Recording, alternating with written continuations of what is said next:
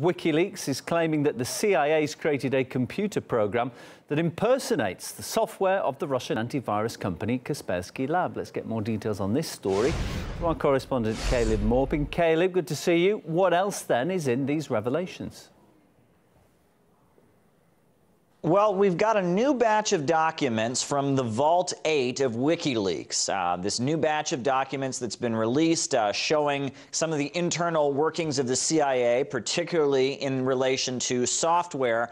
Um, now, what was released is a program called Hive, um, and essentially this is a major component of CIA infrastructure um, and malware, um, and it provides uh, covert communications uh, about how the CIA operates and what kind of software and malware that they're using. Now, one thing that was revealed uh, in these in these documents is that essentially the CIA had a program uh, to imitate Kaspersky Laboratory. Now, this is a huge popular Russian software company. Um, and it's recently been subject to scandal. U.S. authorities have actually banned uh, uh, any government agencies from using Kaspersky Laboratories, citing concerns about national security. This happened back in September. Um, and it was recently reported by the Wall Street Journal that Russian hackers had stolen U.S. cyber secrets uh, from the National Security Agency by using software that was developed by Kaspersky Laboratory. Um, this is actually what was said by Elaine Duke of the Homeland Security Department of the United States. The risk that the Russian government, whether acting on its own or in collaboration with Kaspersky, could capitalize on access provided by Kaspersky products to compromise federal information and information systems directly implicates U.S. national security.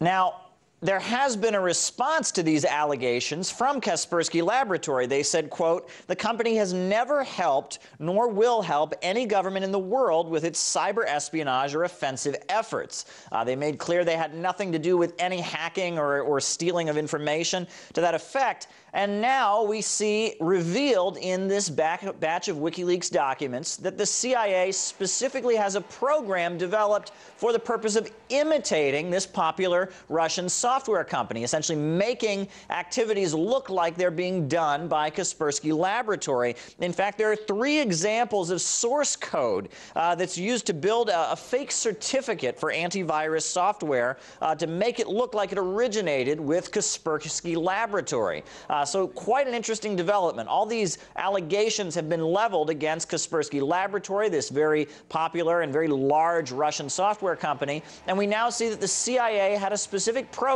designed to make it look like activities were being done by Kaspersky, to imitate and, and leave essentially uh, false digital fingerprints for Kaspersky Laboratory. A very interesting development.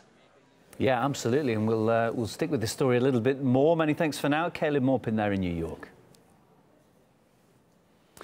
Now, Vault 8 is a new series of WikiLeaks publications on a huge tranche of leaked CIA files. It details the revelations in the previous batch called Vault 7, which revealed the agency had its own malware, exploited vulnerabilities in phones and TVs, and had the ability to bypass encryption on messaging apps. Let's bring in former British intelligence officer Annie Machon. Hmm. I think it's safe to say most people won't be trusting the CIA anytime soon, but we shouldn't be surprised, should we? This is kind of what they do. They're a spy agency. Are you surprised by any of this or the scope of, of their uh, operations? Not at all, no. I mean, uh, in, intelligence agencies have had this level of capability, even in the analog era. It was just much more targeted, uh, much more resource intensive. Of course, with the internet, it's opened up huge new opportunities for them to master the internet, which is one of the phrases that came out of the Snowden leaks a few years ago. But in this case, of course, the WikiLeaks uh, CIA Vault 7 and Vault 8 revelations are fascinating because the Vault 7 revelations um, last year revealed that, for example, the CIA could actually uh, make a hack look like it had come from Russia under the codename Umbrage, from China under Marble, and under many, many other countries. So it's actually really mucked up the whole concept of forensicating any hack attacks that go on around the world. So I suppose it was inevitable it would move on to looking at corporations that were had a, a gold standard standard of providing protection around the world for companies and also the American government, by the way. Kaspersky is highly reputable. Um, it's been operating for a couple of decades. It has about 400 million users around the world, including until very recently the American government. So, you know, if they're going to do that to, to whole countries, of course they're going to do it to competitive and competitor corporations around the world too. Okay, the thing I will glean from all of that is if anybody accuses anyone else of having carried out a hack, I won't believe it because you just never know how much smoke is involved in a smokescreen. Why would the CIA choose Kaspersky Lab? And it's been a fascinating few months with Kaspersky in the doghouse, big scandal over them, and now we've got the CIA revealed as being able to impersonate Kaspersky. But, but why them? There seems to be quite a lot of history. I mean, obviously, the CIA will be interested in a, a very successful Russian based company that offers protection on the internet. But it goes back a bit further because I think it was 2010, uh, the very first proven cyber warfare weapon was deployed.